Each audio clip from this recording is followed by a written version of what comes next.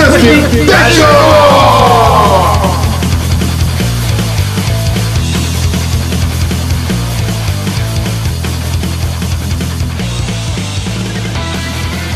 あじゃあ皆さんいきますよ。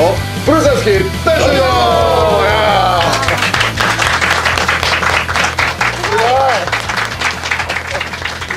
すごい。始まりました。始まりました。プロレス大好き大集合今日はね男の人ばっかり。ねはい、嬉しいです。え嬉しいですよね。これだけのたくさんのね皆さんが集まっていただいて。ね本当元気な皆さんばっかりですね。あのさきさんのあのえっ、とファンの皆さんこんなこういう感じのお客さんばっかりですか？いやいやいや、全然。あいいえとかいいええそう。え本当に10人埋まんないと思ってて。あ。本当ですか？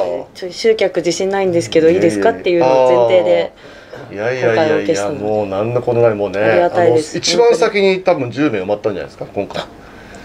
ね。さすが。さすが。です。様々です。ねえ。ということでタイトルを申し上げましょう、はい。エルハラペーニョ Presents in 東京駅ですね。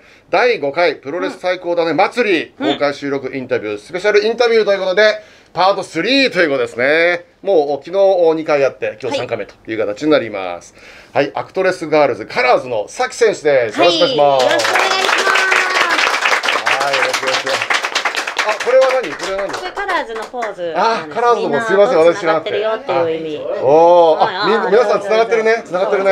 はい、繋がってるね。繋がってるっていうあなたとリンク。おお、もうさきさんと繋がってるみんなね。ね、いいですね。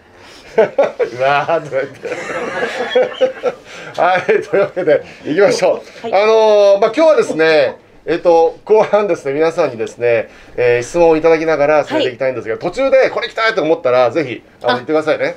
で、その方が、なんか多分、さきさきさんは、あの、はい答えやすいかなそうそうそう。答えやすいかなと思いますんで、まずは、そうですね、えーこの通り行きましょうか、まずは。すみません。あの、最近のエピソードということで、何か変わったこととか、印象に残ったことって最近ありました？エピソード。はうん。ちょっとそのままあ、つないでていいですか？い。あの、えっ、とね、私ね、さきさんにお会いしたのは、はいあの、矢野徹さんのおエブリデイタウスってね、あの、お店がありまして、そこで働かれてたことは働いてます。今も進行形です。はい。あただお店がやっぱ緊急事態宣言中で開いてないので。はいはいはいはい。そうなんですよ。もうずっとじゃあ結構長いですね。長いですよ。でねデビュー前からいるので、あ、本当ですか？オープンの日からいるんですあよ。本当ですか？実はえ オープン前日のプレオープンでうんご挨拶させていただいてえ、はいはい。でオープン日からずっとそうなん働ですか。かせていただいてます。ええフル株なんだ矢野さんの店。一番フル株ですね。えー、すごいすごいな。そうそう何度かお会いしてて、そうさきさんとはいずれねこうやってインタビューさせてもらいたいなとずっと思ったんですよ。そうで今日ねその日が来ましたということでいいですか？まあもうもう取りましたがエピソなんかうんなんかあのそうだなそ最近は練習はどうですか？練習はプロレスの練習はあの大体どのぐらいのヒントでやってるんですか？一応団体としてうんは週3日リングの日があるんですけど、うんうん。で最近大阪にばっかりちょっと試合で行かせていただいていて、はいはいはいはい。あんまり参加してない。声がなんかなんか最近でも仕事でやっぱ試合で大阪に行かせていただいてるので。ちなみにあれですかプロレス以外のお仕事ってタレント系の仕事もやられてるんですよね？あそれはうん。私のタッグパートナーのうん。トロピカワイルドの水森優奈ちゃんゆなもんがはいはい。ドドラマーとかアイドルとかはいはいやっておりましほてう。そこに一緒に出させていただいてそれが唯一の私のアクトレスな。アクトレスな一面といやアクトレスガールズみんな女優さんなんですよもはいはい。ともとは。ああですよね、そういですうけど方々がね私そういうのやってないので。うんそこのユナモンの力でなんとかアクトレスガールズを なんとか。できてます。ねえねえ。大阪行ってなんか変わったことありませんでした？ミス何かこうねミスっちゃったなとかね。ああとちったなとか。でもせっかく原付を買ったんですよピンク色の。お原付。でも買った そば、はいはい。買ったそばからというか、うん、そこからすごい大阪行くことになっちゃったのであちょっとまだ買ってから一回も給油してないです。ああ給油してない。給油してないほど乗ってないです。じゃあもうピカピカのままですね。はい。ねえ。何の原原付は何を乗ってるんですか？なんかボックス？VOX あ VOX のなんかピンクに塗装されてるやつを。あピンク可愛らしいですね、はい多分、えーあピンクの原付似合いますね。さきさんね。やみいやそんなことないのそんなことないですよ そんなこと応ないな。反応ないな。でも私一応ツイッターでこれ似合いますかねってツイートしたらみんな似合う似合うって言ったから買ったんですけどね。ああなるほど。嬉しいですね。じゃあ次の話いきましょうか。はい。まあまあこれは今の原付がねエピソードということでねはいではい。も今年はちょっともうちょっと大きいバイクの免許。お大きいバイクの免許。あうん。でも中型ぐらいですかね。えー、いや教習所かなんか通ってるんですか？去年の年末に、うん。その山形に、はい。あの免許合宿行ったんですよ車の。車のね。ちょっと思いのほか楽しくて、はいはいはいだからバイクも行っちゃおうかなおいいですね。えー、中型の免許。中型ですよねきっと。うん。まあでも大型とか乗ったらちょっとかっこいいですけどねうんちょっとそれは思ってます、あのあの人乗ってるじゃないですか。あの元前女の、あえっと。でも乗られてる女性多いですよね。ああまあまあ。はいボディガーさんもいつも乗あボディガーさんね。でかいの乗ってかっますねこいいですよね。めっちゃかっこいいです。そうそう。などんなバイク乗りたいですか？アメリカンとかそのスポーツバイクとかいろいろありますけど。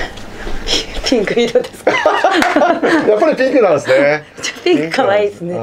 あでもほら大きいスクーターってあるじゃないですかい。ああいうのもあまかっこいいですよね。あアイルのピンクとかもきっと塗装すればできますよね。あでも先さん仕様とか作ったらなんかファンとか買ってくれるんじゃない？えどういうこと？自分用にってことです。それとも私にそう。自分がそう先さん仕様を作って乗るんですよ。あ。でそしたら乗ってたら。さんが塗装を誰かに依頼してやってもらって、さきさん仕様のバイクを作ったから買ってはい、ということで。えっ、と今はどうでしょう？コンディションの方は。コンディションうん。はバッチリです、バッチリ。バッチリですね。すごいバッチリです。すごいバッチリ。どこも痛いとこない。痛いとこは大してはないです。えなんかあのえっ、とコンディションを維持するために気をつけてることとかってあります？うん。ストレッチ。ああストレッチ。それは毎晩とか？あ試合前。ああ試合前ね。試合前ね。はいあと、うん。お風呂にめっちゃ浸かります。ああいいですねいいですね、はい。お風呂は何時間ぐらい入る？1時間ぐらい入りたいんですけど、うんうんうん。1時間ぐらい入ってるとうん。ちょっとやっぱ湯船硬いからお尻が痛くなりますね。多分湯船入りすぎるとやばいですね。あなるほど。えーとちなみにですね えーとコロナ禍、まあ、これもどうだろう答えられるかな。あコロナ禍ね。あなるほど。まあいろいろ不自由なはね、その世の中になりましたけれど、はい。そのあんまり外に出られなくなったじゃないですか。はいでやっぱりあのこういったプロレスラーの人たちも感染をしちゃいけないっていうはい。気遣いもあるし、人に感染させちゃいけないっていう気遣いもあるじゃないですか。でそんな中で日々日々どんなんかへ生活の変化とかっていうのありました？これまで。でもなんでしょう、去年の本当今頃とかってうんうん。全く半年ぐらい試合何もなかったので、あはいはい。でもやっぱ練習は行かなきゃいけないって言って、うん。来ないメンバーももちろんいるし、うん。数人で練習してたんですけど、うんうんなんだろう接触しない練習をずっと何ヶ月もしてました。接触しない練習？でも一人で永遠とできる練習をへもう回して回して。え例えばどういう練習ですかそれは？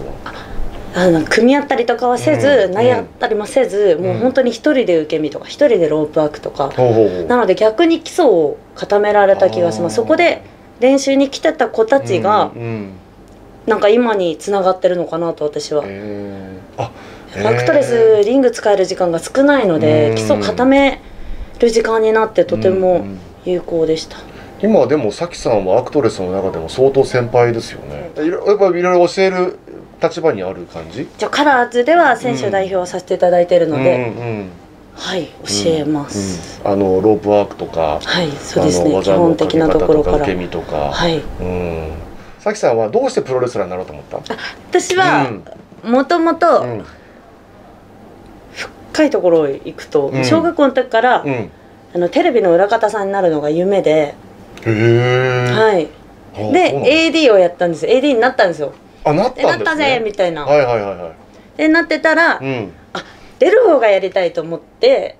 あ出る方ね。う。つそう映す映し映してもらう方だね。はい、うんうん。あ出る方がやりたかったんだと思って、うんで AD 辞めてうんバンドやって、バンド解散して、で音楽をできる形を探していて、で本当にあ音楽をやりたかった。はい。あーあそもそもミュージシャンなんですか？いえでもでも喉潰された。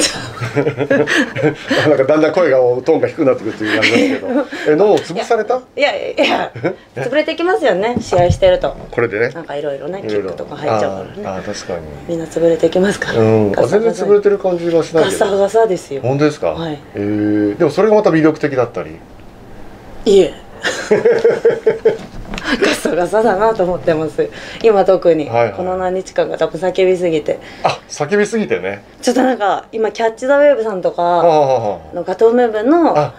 タックリーグとかが始まりまして、ちょっと叫びすぎちゃってますね、あ いつにもか増して。プロレスをやって例えば、はい。男子のプロレスだとラリアットをこう食らうと、はいはい。なんか喉仏が奥に入っちゃうんですって、だからあのなんだろう声のトーンが下がったりとかあガサガサになってするはいはいはい。しまうんですって。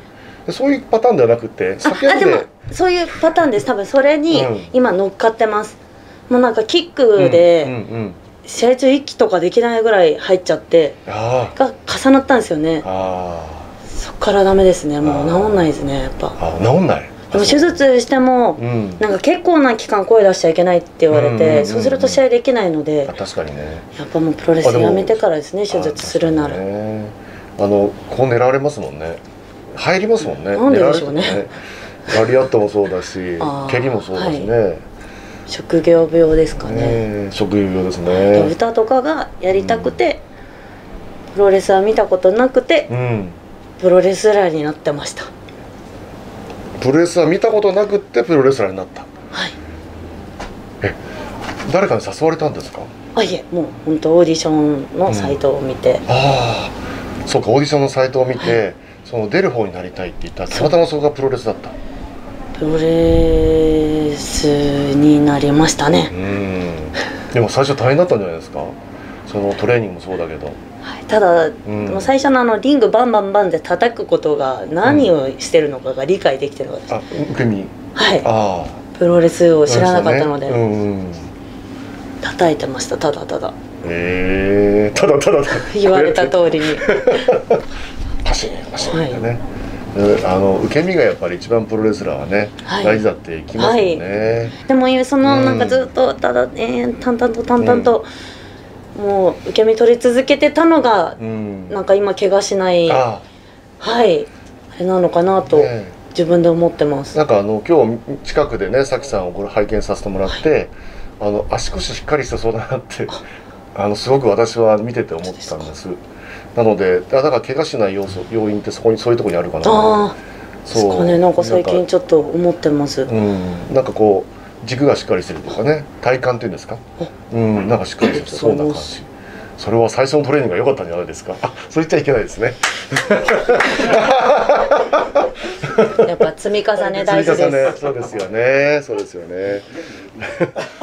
ちなみにあのこれからの試合予定はどんな感じですか？これからの試合予定は、うん明日チョコプロさんで、はいはい。そのタ今タックリーグ中なので、はいはい。チョコプロさんやってはいそして自分の団体。28日ですね、はい、うん、このこの放送がされる時はもう28日終わってるかな。これいつですか？これはね来週。来週の多分末になると思います。あじゃあカラーズ大会も来てくれてありがとうございます。あ そっか。そっか。えカラーズ大会はいつなんですか？カラーズ大会30日です。あ30日。でもう29日があなるほどなウェーブるさんの Catch the Wave。Catch the Wave。でで1日も、うん。多分ウェーブさん。あのでも8月13日アクトレスガールズ後楽園ホール大会にぜひいらしてください。私予約で。うん。はいちょっと今、えーあ予約で予約でね。ははいい、ベルトを巻いているので、はいはい。そこで、うん。えっと、うちの清水ひかりの5番勝負のはい。最後5番目の相手として、はい。ベルトをかけてルトかけて後楽園でマッチ。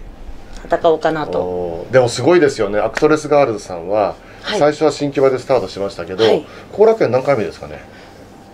4、5回やってますよね。はい、うん。4、5回 答えられないところがすごいみたいな。そうそう。あの最初の方はうちの番組にねアアクトレスガールズの皆さん出たことあるんですよ。ほん。うん。えっとあの時ね最初にいたメンバーがマナさんゆうなさんとか。ああもう本当に初期ですね。本当に初期の、うん、もうだからスタートする時のはい。あの旗揚げの前かな。うちの番組夏あ万喜なつみさん？はいはい。とか出てくれました。本間多恵さんも出てくれました。しねうん。そうそうそう。そう。でそう。久しぶりのアクトレスガールズさん。あでそうこの5年ぐらいですかね。はい。おそらく。5年ぐらいで後楽園に進出して。はい。うん。まああの著しい成長というか。ねすごいですよね。すごいです、ね。うん。うん。まあ、あのぜひあの後楽園ホール8月？13日。13日8月13日のチケットをさきさんにあのぜひお願いをね、はい。していただければと思 DM でも何でも、はいはいよろしくお願いします。お待ちして後楽園昼工業ですか？おいおい大事なこと夜じゃない？お い皆さんだ誰か知ってます？あのあ後楽園。いや昼ってことは多分何昼はない。ないない？と思います。ああのアクトレスガールさんは昼はないんだ。昼やったことないと思いますね 後楽園。はい。夜。です。夜夜工業13日の夜。夜。はい。えっと8月13日は何曜日になるんだろう？金曜日。金曜日。金曜日です 金曜日の夜、はい。ね、夜18時半。18時半から。18時半からコラケンホールということで。コラケンホールで。はい。お待ちしてます。はい。ということだそうです。8月13日ですね。後楽園ホール大会、えーはい。18時30分スタートということで、7月18日私の代表のカラーズのあ。大会もありますので。えそれはどちらですか？ぜ新木場？新木場です。新木場ですね。はい。え7月？7月18日。18日。7はい。月18日ですね、こちらは新木場大会。はい、これこれは昼です。昼？昼。7月18は昼。はい、7カラーズ月、はい、7月18は昼ですね。で、8月13日は夜と。はいね、いうことですね。もうお盆前なんで、皆さんね、お休みに入るか入らないかぐらいの時ですね。休みの期間まあまあ、ぜひぜひ。あ、こちらにいる皆さんは、皆さん、あ行かれますか？後楽園ホールは。え、なんかちょっと曖昧な返事ですけど。うなずきました私も見てたんであ、そうですね。はい、あの、さきさんにくるく。る頭を探しますよ、はいリングから さきさんにね、ぜひチケットをね、あの、皆さん、今日はあの予約できますからね。そうですねね、はい。ということで、後楽園、あ、新木場と後楽園ね。はいね、あの両方ぜひね皆さんあので見に行っていただければと思いますね。よろしくお願いしまよろしす。くお願いします。はい、さきさんにねぜひ DM を。あもう。拍手いただいて、そうそう拍手していただけるとなんかすごく盛り上がるかな。そうですね。はとても拍手した方は覚えちゃいますからね。うん。ちなみにあのさきさんのファンはやっぱり男性が多いと思うんですけど、まあそうですかね。ここでちょっと革新的な質問していいですか？はい。もう台本から離れますよ。おいいいですよ。あれですか？おいいですよ。なん誰いつ何時誰の挑戦で受けるかですおね。受けますよ えっ、と、さきさんの好きなタイプの男性どんな感じです？朝の山です朝の山。太った人みんな知ってあ、みんな知してないでるす筋肉ですのか。あ、そうか。筋肉なのね。あ、そう。はいえっ、と、筋肉質で大きい人が好き。大きい人好きですええ例えば、まあ、見た目はそういう感じだかもしれないけど、うん顔と顔つきとかどうなの？朝の山さんのやっぱり。朝の山うん。可愛いあと正代もかわいいちょっと呼び捨て朝の山さん可愛いし正代さんも可愛いおお。えっ、と、やはり基本スポーツ選手みたいな人が好きなんですか？ううんん。まあ理想と現実はなかなか なかですよねああ、なるほど、なるほど。でも芸能人になると、うんうんやっぱ瑛太さんとかが好あ、エイダさんね。全然違うこの間、この間のリコ、リコ活出ててね。ねあれ良かったですえね。うんしかも相手がうんさきさんの役だったのでちょっともうああ、そうか、さきさんだったわ。いつもさきさんって呼ばれてたね。はいそうそうか、わかる？皆さん、わかる？リコ活見てました？リコ活。そうそう。え見てないの？そうええっ、と、えっ、と、さきさんとね大悟さんの奥さん、結婚したいみたいな大悟さんの奥さん、誰だっけ？そんなこと言ってくれんのみたいな、ねえいいドラマでしたよ。いやいいドラマでしたね。あれは。私もずっと見てまました。さかの。エイダさんってあんなに低い声だったかななんてね。あでもあれですよね。ちょっとね、作ってますよね。作ってますねうん。役に合わせて。すいません、わからない話よ。えー、マジで見てほしかった、ねえ。ちなみに性格はどんな人がいいんですか？こう付き合うとしたらそのどういう性格の人とお付き合いしたい？あでもナルシストが好きかもしれません。え？ナルシスト？それ性格ですかね。ナルシスト自分のことを好きな人？はい。うん。え例えばど例えばどういう感じで？多分ナルシストだと自分が好きだから他に目がいかないと、あそういう浮気しないってこと？浮気しないってこと？多分自分にとうん。自分にいっぱいいっぱいだと思います。じゃあさきさんに目が向かないかもしれないよ。ああじゃあ何ですかね？性格？うん性格。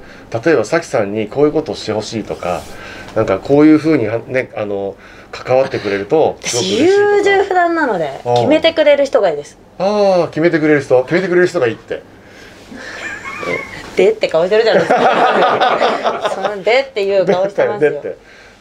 ちなみに皆さんはさきさんがどんなタイプが好きなっていうのをなんか理解されてるの、ちょっとしてますよだって、うん、理解されてます？理ね解されてる？あどどういう人が好きな感じ？さきさんは。え。ええ？佐野山が。あその山ね。まあまあそれはね、まあ、公表されてるんでしょうけどそのどんな性格かとかさ。どんな性格かなんて私でも分かりきってないのに分かってたらもう びっくりしちゃいますけどね。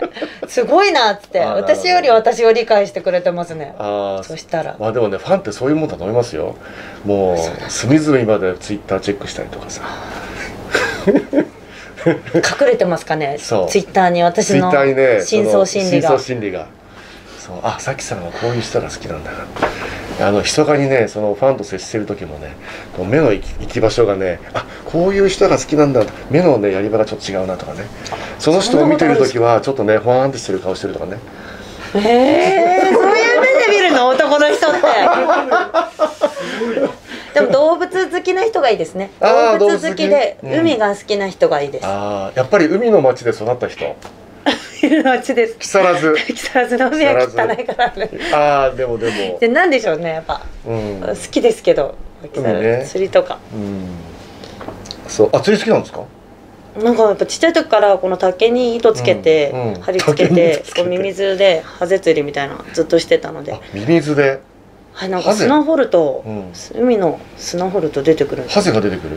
あいやすミミズが。ミミズが？それをつけてこううん見えるのでもうハゼが、ここうやって顔の前に垂らせば、うんパクって。そう。えすごいね。ハゼを釣るってなかなか体験ないですよね。ハゼ釣りってね。ハゼぐらいしか釣れないんですよあそう逆になの？そうなの、はい。ちゃんと見ながら。えー、今海釣りとは海釣りとかは結構やるんですか？実家帰るとうん。弟とやります、えー、あ弟さんがいらっしゃる。はい。あ何歳年下ですか？12個ですねわあ。わ妹は10個下で。ーわーあじゃあ離れてるんですね。うん一応お兄ちゃんもいるおんで兄ちゃんもいて。へえ。ーみんな知ってるそれは。知ってますよ。さすがだな。ファンはな。すごいな。家いや族構成そんなに興味ないと思いますよちなみにちなみにあと何かあタッグタッグチームの話ですよタねッグチームの話、うん、うん。今今タッグ組んでるはい。方は何てお名前でしたっけ？まあまあ水森ゆなちゃんですね。あ水森優奈さんね。がうんはいはいはいはい。で歴代タッグを組んできた人のことを知りたい？言える範囲で言える範囲で言って。どういう？そう。あでもなんか今日あれですね。あのす数年前の団体にいた頃の話は聞けないから結構あれですよね。でも今もすっごい仲いいですよ。あ本当ですか？はい。あれ？3日前3日前とか、はい。ご飯してました。あ誰と誰と？水ぴょんと水ぴょんとああ水森。4水森さんね。4日前。はい。大阪行く前。ちなみにタッグを組む時って、はい。やっぱり息が合わないとタッグってなかなかいかうまくいかないじゃないですか、はいはい。なんかそのために努力してることってあるんですか？今ご飯一緒に食べれるからさ。努力してうん。今そのご飯食べれてるのは、うん。まああれですけど。うん。どう私はでも、うん。タッグで組む相手とかやっぱ息合わせたい、うん呼吸回したいから、タッグで組む前とか、うんうん。まあ、これタッグの絆つかめ深めるうん。前にやっぱシングルマッチをしたいです、ああなるほど。やっぱお互いの息の呼吸もはいはいはい。分かるし、うんうん。なんでしょう信頼し合えるじゃないですけど、うんうんうんこのガトー部のうんユナモンは、うん。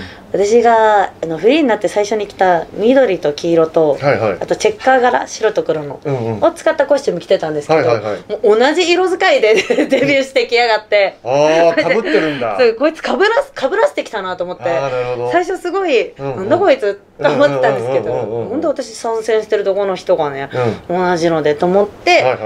そしたらどんどんどんどんシングルマッチすることによって、うんうん逆にお揃いでタッグみたいな。ああ絆が深まっていきました、ね、相手のはい、ことをよく理解してね、めっちゃ信頼してますちなみにあのちょっと話話題変えますけど、はい。えっ、とまあこう今日はねあのルチャリブレのね、はい。そのメキシコがテーマになってるお店なんですけど、メキシコはどうですか？い行きたいと思う？行きたいと思います、うんうんうん。というのも、うんうん。私そんなに最近出してないですけど、うんうんテキーラマエストロの資格持ってましてあら。やっぱテキーラの原料のアガベってメキシコでしかできないので、はいはいはい。生のアガベを見たいです、あー。できないというか多分伊豆のシャボテン公園にもあるって言ったんですけど、うん。やっぱり環境がうん。メキシコと違うので、あそんなにせ、まあね。育ってないみたいな、はいはいはい。それを見に来た、へ プロレスじゃなかったですね。ーあ全然全然。でもあのほらメキシコってプロ、はい。メキシコのプロレスってそのメキシコの土地柄があって、はい。でかつそのメキシコの歴史にこうずっとこう一緒にね育ってきたものだから、あの歴史とそのアガベとかね、はい。ああいうだったりとかすごく神なんですか親和性というんですか、高いですよねとってもね。うん、行ってみたいですね。ねえ。ルチャリブレは見たこと見たことありますよね？もちろんです。ありますよね。はい。対戦とかかさせていただいたり、ねえ。どうですか？あの対戦とかした時にルチャリブレってどんなか感覚ですか？でもなん日本うん。の方に教わってるルーチャーとうん。また違うじゃないですか、はいはいはい。実際に戦ってみると、うんうんうん私はもともと部活とか何もやってこなかった人間なので、うん身体能力に自信が ゼロなのでそうなんですか。一定できるのかなって部分とでも多分今が一番若いので今って、うんうん。若いうちに何事もチャレンジしたい感はありますね。あのなんかルルチャリブレの人たちってヘッドロックがなんか逆側だったりするんでしょ？なんか掴み方が違ったりとかロックアップの仕方が違ったりとか。もそうですすもんね、うん。私も最初、ん。あの前場方式で習ってたので、はいはいはい。ロックアップ逆だったので。ああ前場はルチャと一緒。はい。ロックアップの仕方が。こう右左が違うんね。どっちもなんかやっちゃやってたから、ん。今ちょっとよく分かんなくなっちゃいましたね。よくわからなくなっちゃいました。普通どっちだっけ？普通はあれ？ほら分かんなくなっちゃう。ちょっと考えすぎると分かんなくなっちゃう。右右手が首？右が首で。うん。そう。どっち？でも今そパッパラパーになっちゃいました。うで手と取る手はああ左が首だ。が右だったんですね最初は教わったのは、ああそうかそうか。はい。で取る手が左か右か取るのもうん。逆だったんですよ、逆だったんだ。ずっと。なんか日本は大体左ですもんね。はい、ねそうですよねで右手はそう取らないんですよね、はい。うん。ね、なんで取らないんですかねあれ。右手取らない。右手の右手の人が多いから、あの生活を守るため。怪我させなく、怪我させない怪我をさせないため、左そういうのあるんですか？そんな？深い理由が、うんうんなんか深い理由があるらしいですよ。いろいろと。うん。なんかこう左だけを取るのははい。その右利きの人が多くて右を怪我させてしまって生活に不自由があったりとかするので左を取るっていうふうに聞いたんですけど、うん。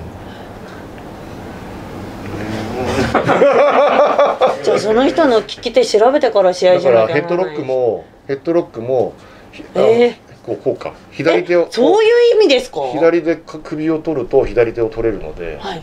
ヘッドロックも左でするとか。えー、うん。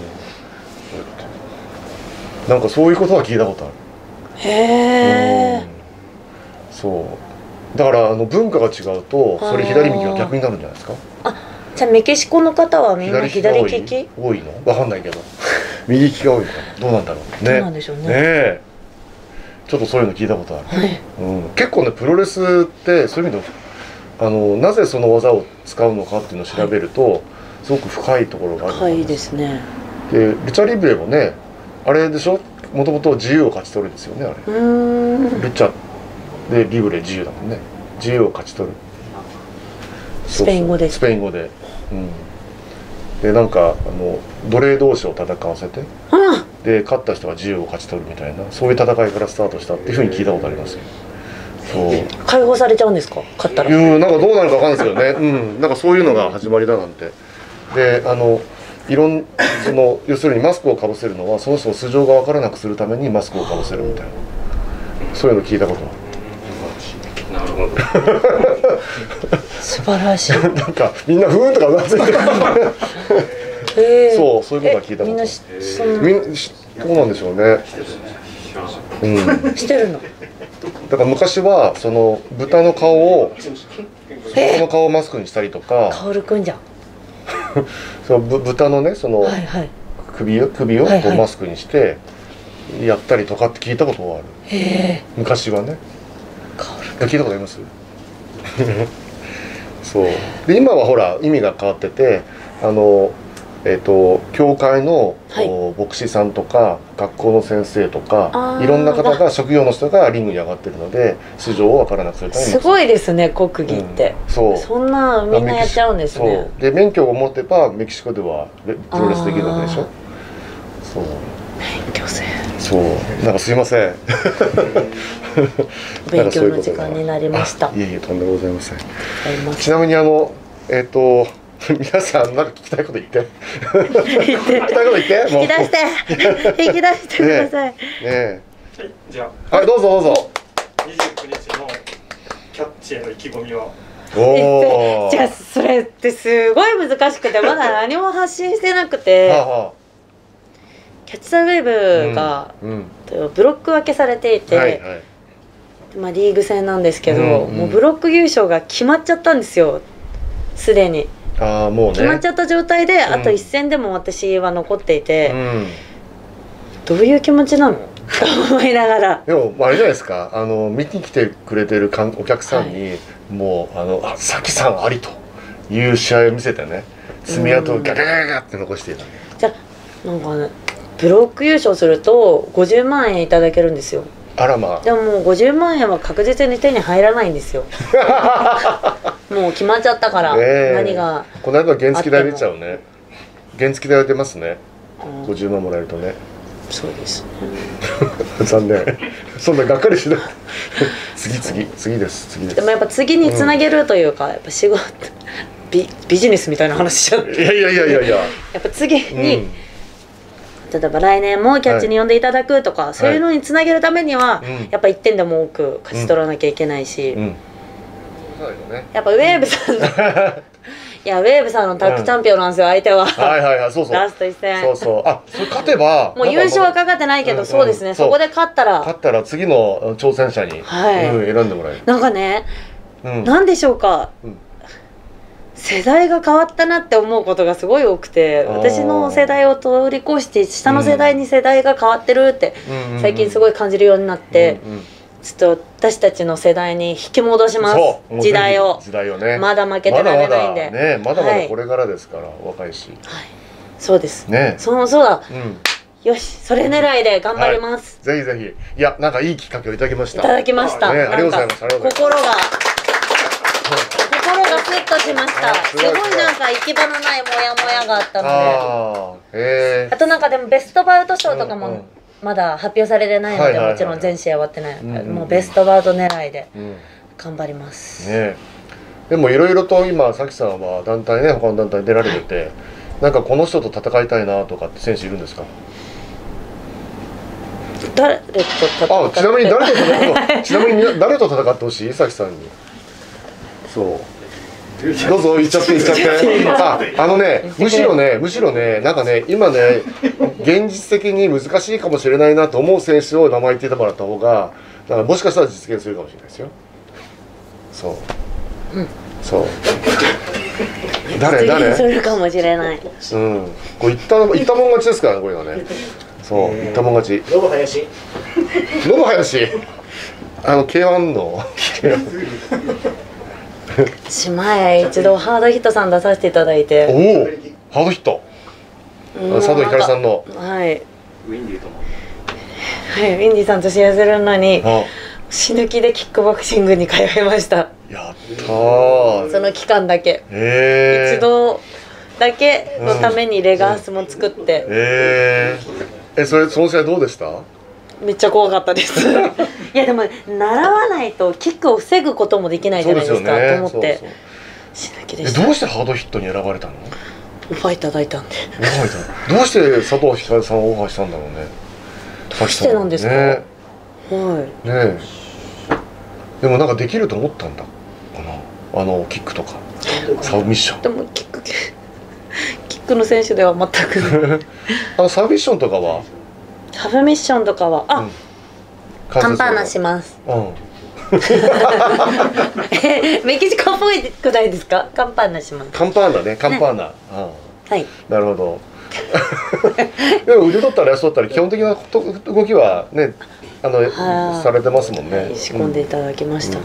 誰に？言っちゃっていいのって言って誰？っどうぞ。て誰って言ってましたっけ？いや名前言ってないですえ誰ですか？誰戦ってほしい選手？いや本当に。あどうぞ。あの、いや全然全然。あのやっぱり全然絡みない。うん。絡みがない。うん。とはやっぱ多分もう見れ見れないかもしれないうん。え？え誰ですか？やっぱ東京女子プロレス。え？ー、の？選手の絡みは見たいですよね。へー。え例えば誰ですか？それは無理じゃん なんでそんなさ業界人みたいなさ 業界人みたいな気を使い方するわけでも水木さん。あし当たる方ってこと？組む方じゃなくて。対う戦ん対戦ね。水木さん。水木さん。あともともと一番のタッグパートナーですあとね山下さん。あみたいあチャンピオンなんだ。うんでもわかんないですよ。もしかしたらオファーされていくかもしれないですよ。ねそう。東京女子プロレスそんなことはないんじゃないですかね なんか意外とさきさんっていろんなところにこう上がっている対応できる感じの選手じゃないですか？どこに上がっても。基本的にお仕事いただいたらうん。すごくありがたいので、かぶったりしないとお断りしないんですけど多分出過ぎてる感はあります。いやでもそれが 出さ過ぎてレア感はないです。ああでもなんかオファーしたら気持ちよく受けてくれるっていうのがとっても大事でしょ？ねえ。だって嬉しいですね。そうそうそう。言ってでさきさんにじゃあお願いしたららねあもう来てくれるからお願いしようって思いますもんね。だから多分ひかるさんもそう思ったんですよ。言っちゃいましたね。震えねてました私 さきさんに頼んだらねあのどんなにねなめっちゃ怖かったなん難問も解いてくれるだろうと。はい そう思っていただいたら。そうそうそう。ねでもうすぐね、うん。10年になるんで何が起こるかわかんないですからねそうだ。人生。え10周年。なんか周年興行やるんですか？あいえやりってもやってもらいたいですよね人によって違いますよね、うん。数えで周年数えるの。かあまあ確かにです。ね。ね。来年が10年目。もう10年目に入ってる今9年目です。9年目か。で来年は10年目。8周年む8周年迎えると9年目。うん。で今9年目。はい。で来年10年目だ。そうです。じゃあもう来年1年間で10周年のどっかで周年興行やんないと。なんでそんなそんな深刻にでもなんか周年興行ってちょっと特別な感覚がある。10年でしょ？だって。はい。ねますよね。え。特別な感じしますよね。う、ん。で10年やるって大変なことですよ。何かをね。何かを10年そうですよ続けるっていうのは。ね。そう。してると思わなかった。本当に。よくねあの素人がプロになるのにはい。2万時間必要だって言うんですよ、うん。で2万時間っていうのは10年で数えるとはい。1年間に200時間なんですよ、あ200日ごめんなさい200日おなんですよ。はい。で200日をお毎日毎日200日8時間かな、はい。6, 時6時間だったかな？あのやると2000 2万時間に10年になるんですね、へえうん、だからねあの工藤公康ってあの今あソフトバンクホークスの監督いますでしょ？はい。彼がその全くのズブの素人からプロになるために2万時間練習しなさいって言うんですよね。だから10年というのはそういう時間なんで一人前になる時間帯なん10年経ったら一人前そこからスタートですか？でいやいやいやもうもうすもう一人前になってると思いますけど。でもそのぐらいの時間帯なんで、ええ。そう。2万時完全に間自立して自分で何でもできるっていう、うん、時間。そう2万時間なんですよ。果てしないですね。ね。えでももう10年ってそういうことだからそこで皆さんでお祝いしてもらわないとお祝い。ねお祝いしたもううずうずしてますお祝いしたくて。知ってくれたらいいですそねうお祝いしたくて。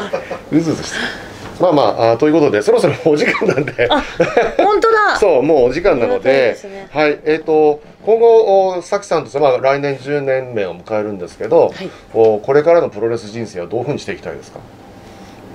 これからのプロレス人生。うんうーんそれを今すごく考えてますね、うん。ここうん。何ヶ月間か。あ何ヶ月間ね。はい。今年が、うん。その私が選手代表の,、うん。そのアクトレスガールズの中でもカラーズうん。が3年目を迎えて、うんで今ずっとカラーズを育てるうん。ことだけを2年間考えてきたんですけど、うん。で今年からはちょっと自分も頑張ろうと思って、はいはい。でベルトに挑戦してベルト取れて、うんやっぱこ個々もうん。なんでしょうみんな成長してきたから、うん。まあ安心して託せるじゃないですけど、うんはいはい。で自分で頑張って今大阪うんうんにうん。試合に行かせていただいたりとかはい。してるんですけど、えでもこれから でも自分がやっぱ成長して、はい。引っ張っていける立場になりたいですねもっともっと、そうですねそうですね、はいもうそういう時間をプロレスラーとして過ごしてきましたよね。でしょうか、もともと引っ張っていける選手になりたいです、ねえ下の子たちを、ねえ。でついてきたいとうん。思ってもらえるようなああ素晴らしい。カラーズの子たちに。あ素晴らしい。はい。うん。もう人を育てこいい背中をねあ見せられるようになりたいですかっこいい背中をね。ああ頼もしいですね。いやおまだわかんないですよ。これから。これから。これからですね。ねえ、はい。あでも結局ほらあの年年なんだろうこう、えー年数を経っていくとねはい。やっぱりそういう立場にどんどんなりますよね、まあ、これ会社員の人も多分同じような感じだと思うし一般に働いてるそうだと思うんですけど10年経ったらやっぱり教える立場になりますもんね、うん。もうこの間あのテレビ見てて卓球の水谷さんがああはいはい。年を取るごとに自分に厳しくなるって言ってて、ああと思って。ああそれはやっぱりあれなんだ。自分のにレベルがもっともっともっとっていうのを課すんでしょうね。あとやっぱ年齢もうん。ね。あそうか。厳しくしていかないとこう保てないですよね、うん。うんっていうのをちょっとああと思って。なんか衰えを感じたりするんですか？トレーなんか感じますよ。感じるんだ。30代空いたら。あ本当ですか？えなんでしょうね。えねえ。体体力の衰え？あでもうんなんか30になると多分みんなでも経験してると思うんですけど、うん。30になるとということはあ30以上の人ばっかりってことですねここでじゃないですか？わかんないです。30になったらあーって思うけど、はい。もうなんかそれをいもう一回今突破してる状態です。はああなるほど。い。そう。連戦も大丈夫？疲れない？みたいあ最後にじゃあこれ一つ聞きましょうか。な、はい。あのプロレスを通じてファンの皆さんに伝えたいこと、ね一緒に笑顔になれたらいいですえねプロレスやって。素晴らしい。素晴らしいまあ、試合にもよりますけど、うんうん楽しい時は楽しいと思って帰ってもらいたいし、うんうん。あ悔しいと思ったら一緒に悔しい気持ちで。あでもそういうのって大事だと思いますよ。でもそれは悔しさを晴らすので、うん。次来ていただいた時には。なんか喜怒哀楽をねそこで感じてもらえる。共感できたら。ね共感なかなかぼーっと仕事してなんちゃらって朝起きて仕事して寝てだと、うん。なかなか喜怒哀楽ね。ないと思うので、ですよね。そうそう。一緒に楽しんでほしいです、ね、一緒になんかその会場に来てもらって、はい。喜怒哀楽をこう発散してもらってね、で共感してもらってね帰ってもらうといいですよね、はい。ストレス発散のね。ね。そうですうね、ん。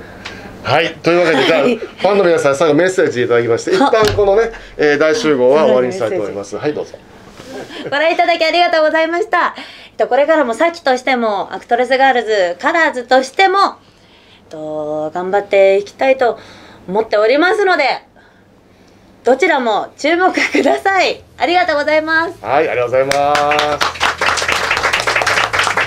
さあじゃああのこのね、えー大集合は一旦これで終わりにしたいと思いますじゃあ最後プロレス大好き大集合大集合でねしてみましょう。はいじゃあいきますよ。はい。プロレス大好き大集合。ありがとうございますざいました。戦えその腕上げろ戦え固く決めろよ。サブミッション。